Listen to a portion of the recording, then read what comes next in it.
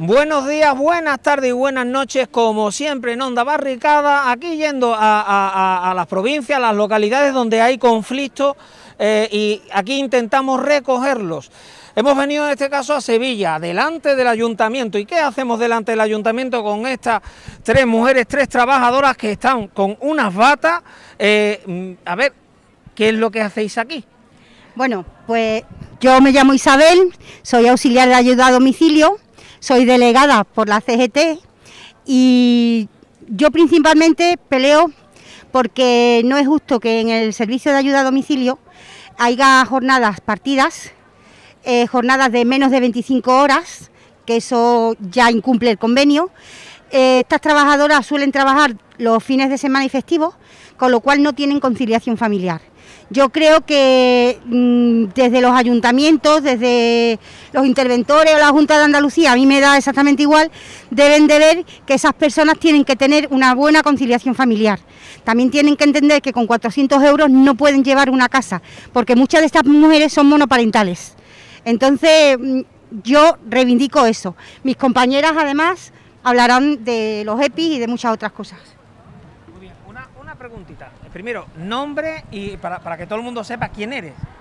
Yo soy María José Navarro, de aquí de Sevilla, como hemos dicho estamos, y delegada por CGT también. María José, una, preguntita, déjame que te, haga la pregunta, porque yo sé que tienes ganas de hablar, pero, pero yo creo que a la gente le interesa, eh, eh, hay una parte que, le interesa de todo esto y es que aquí estás viendo, se nos están empañando las gafas, está, está lloviendo, se me han empañado las gafas, está lloviendo y eh, vemos que bueno, el ambiente no es el más propicio para estar en la calle. Eh, las personas que sois del SAP, guerrilleras y guerreras que estáis reivindicando lo vuestro, eh, ¿cómo veis toda esta movilización? Porque se está viendo desde hace mucho tiempo que estáis empezando a mover y estáis empezando a hacer muchísimas cosas, ¿no? ¿Estáis dispuestas a seguir con todo esto? Seguimos luchando y mm, venga lo que venga, como se está viendo y como bien has dicho, está lloviendo, pero lo mismo que estamos saliendo eh, con el agua y tormenta y demás a cuidar a nuestros mayores para luchar igual.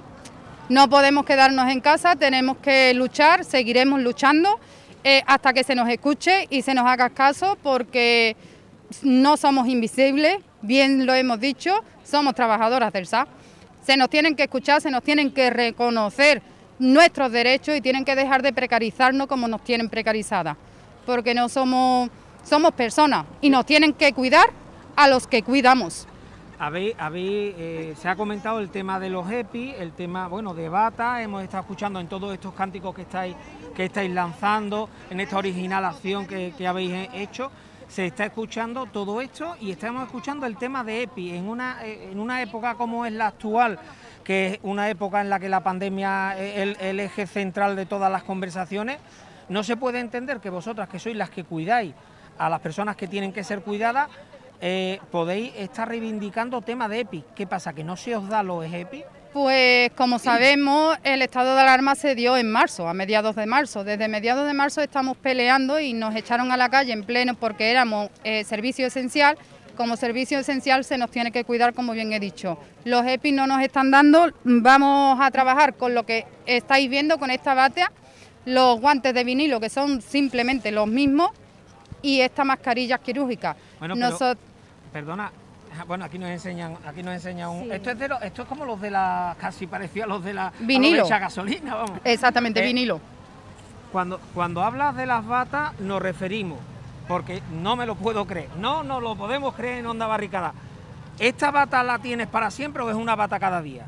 Esta bata es para siempre. Yo voy a mi domicilio eh, con esta bata, voy al segundo domicilio con la bata y así estamos. Te la, llevas tú para. Casa, Nos la llevamos a casa y la tenemos que lavar en casa, evidentemente. La tenemos. Eh, y es eso. Esto, tal como yo estoy ahora mismo, lo único que me faltan son los guantes que la compañera ha enseñado. Mm. Así nos vamos a la calle a trabajar. No tenemos gorro, no tenemos gafas de protección, no tenemos nada.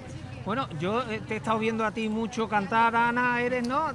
¿Nombre? Ana, Vale, Ana, como antes lo ha dicho, lo sabemos. Ana, de aquí también de Sevilla, y hemos visto que estabais cantando una canción eh, que era, eh, ¿cómo era? No somos, no somos invisibles, somos trabajadoras del SAS. ¿Y por qué apeláis a que no sois invisibles? Bueno, pues, pues precisamente por eso, porque nos sentimos invisibles ante las administraciones públicas y las empresas, mm, realmente para, estamos en total desamparo y abandono. De hecho, eh, María José mm, se le ha olvidado de, reseñar, pero por ejemplo, en la primera ola, que escaseaban las mascarillas, incluso las mascarillas quirúrgicas, eh, de hecho, tuvimos que tirar de la solidaridad y de personal que totalmente altruista nos, daban mascarillas y nos dieron pantallas protectoras. Nosotros no hemos visto ni una pantalla protectora, ni una bata desechable. Cuando empezaron a dar algo más de mascarilla, pero algo más, estoy diciendo que la teníamos que reutilizar durante todo el servicio y a lo mejor durante 15 días. Por lo cual una mascarilla que su eficacia a las cuatro horas ya deja de ser eficaz, mm, valga la redundancia, mm, no me estás dando nada. Claro, son mascarillas, de, las quirúrgicas, eh, eso son las mascarillas, pero bueno, esto parece como que desde una administración pública, no sé, es mi impresión, ¿no? Y yo creo que es la impresión de todo el mundo.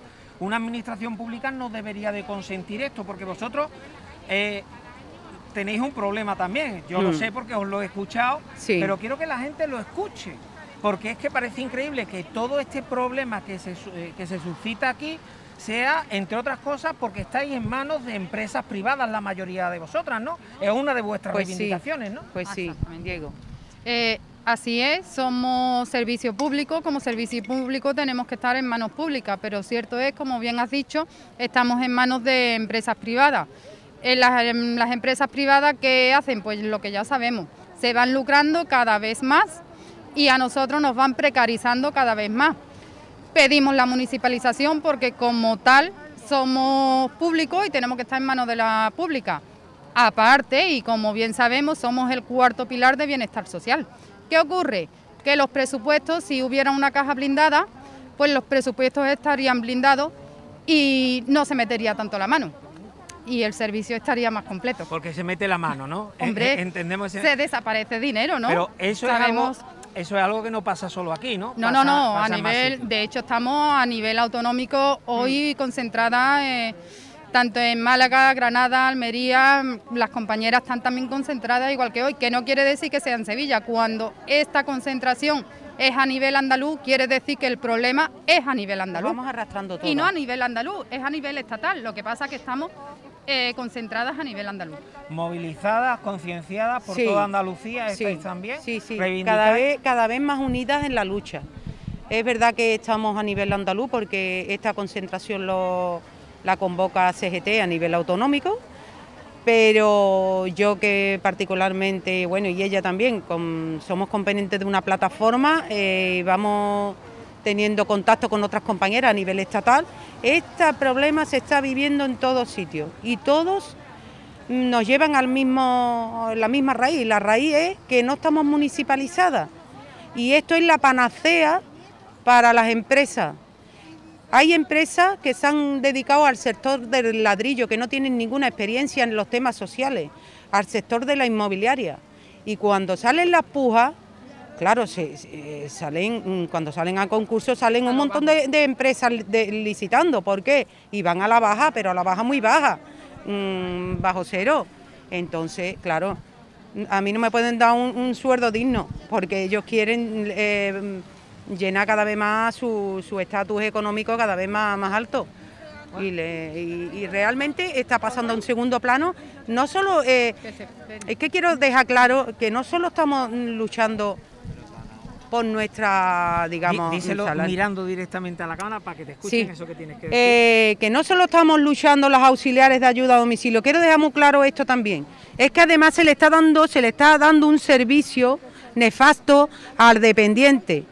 Entonces estamos dejando eh, a manos de empresas privadas que se están lucrando em, ya no solo con nosotras, sino con el dependiente, que es el sector más vulnerable, que no le estamos dando una vida digna que algunos están ya muy malitos, vamos a darle unos últimos días o, los días que le quede, vamos a darle una vida digna, una que son personas a calidad de vida, que son personas que necesitan un cariño y necesitan además unas atenciones, unas atenciones que además se las damos personal cualificado y nosotras no estamos reconocidas como tales, porque de hecho en la A las sociosanitarias que trabajan en residencia sí le concedieron el COVID como baja laboral, eh, exactamente, el COVID como baja laboral, al personal de residencia.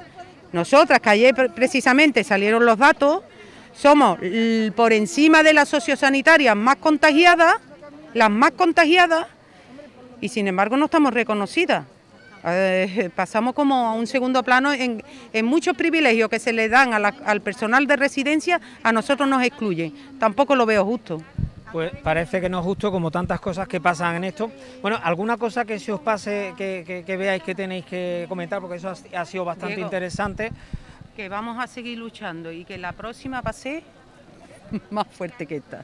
Perfecto, Que no nos da miedo, llueve, truene, tormenta, eh, que estamos en la calle, que somos luchadoras, somos guerreras y el SA no está muerto, el SA está vivo. Así que bueno, eh, hacéis ese cántico para que lo sepa la gente, ¿cómo era?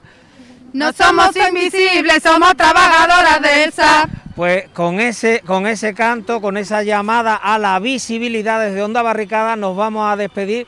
Esperemos que hayan conocido un poco más esta problemática en, esto, en estas acciones que se están haciendo por toda Andalucía. Hoy no hemos venido a, Sevilla, igual que en otras ocasiones no hemos ido a otros puntos de, nuestra Andalucía, Ceuta y Melilla, para recoger esto. Como siempre nos gusta terminar con una reflexión. La reflexión es que en el caso de SAT siempre es lo mismo no tendríamos que eh, ser conscientes y reivindicar no solo ellas, sino las personas las personas de la calle, que todos vamos a ser, mayores, que muchos vamos a necesitar que nos cuiden, que hay personas a las que les están cuidando a sus familiares, no tendrían que ser todas las personas las que estuvieran aquí reivindicando, eh, pues eso, las mínimas condiciones de dignidad que están pidiendo, dignidad laboral, de dignidad como persona que se está pidiendo en, en estas concentraciones, en estas movilizaciones, desde Onda Barricada pensamos que sí, por eso estamos aquí. Ahora eh, eh, la pelota está en vuestro tejado para que vosotros, bueno, a través de las redes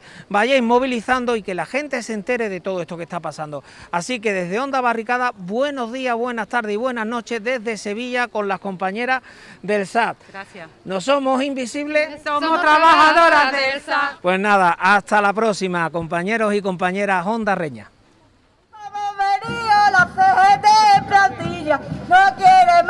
demanda, cumple con nuestra plantilla. Ande, ande, ande, la morena, ande, ande, ande, que la noche buena. La sesión sindical autonómica, perdón que no tengo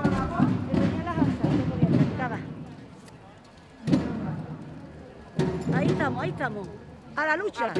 A la lucha. La sesión sindical autonómica del Servicio de Ayuda